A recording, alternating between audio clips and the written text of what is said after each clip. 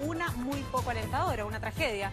La fiscal que investiga, de hecho, el accidente de este bus chileno que iba camino a Mendoza, eh, imputó durante esta tarde al conductor Víctor Gómez por la figura de homicidio culposo agravado. Los detalles de la jornada en el trabajo de María José Purches y Héctor Maturana.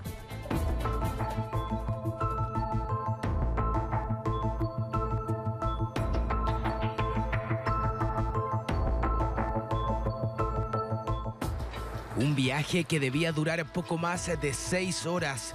Destino Mendoza.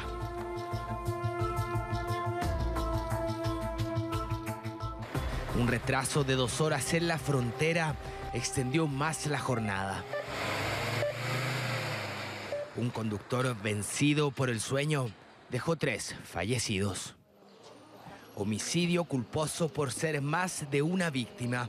Ese es el delito que esta tarde le imputó la Fiscalía Argentina al conductor de la máquina.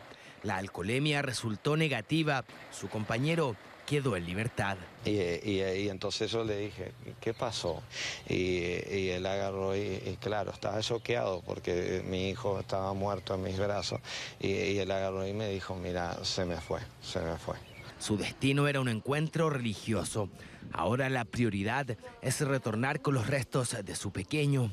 Tenía 10 años nos indiquen eh, en qué momento, digamos, podamos nosotros este, legalizar los documentos certificados de defunción, eh, lo que corresponda, digamos, para que los, eh, los, los, restos puedan ser retirados. Yo creo que más allá del caso, del caso puntual de alguna empresa en particular, aquí estamos hablando a todos los conductores. Lo importante es que todos descansen previo a manejar, de manera de no tener que lamentar situaciones como la de ayer, 20 de los 44 pasajeros resultaron con heridas de diversa consideración. Seis son los heridos que aún se encuentran en tres centros asistenciales de Mendoza. Todos están estables y recibirán apoyo psicológico.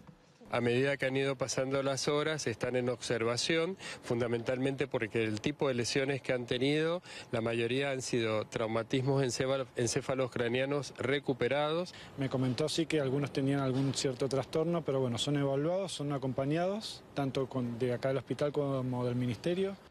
Aún se debe esperar el alta de esos pacientes para confirmar la imputación de más cargos.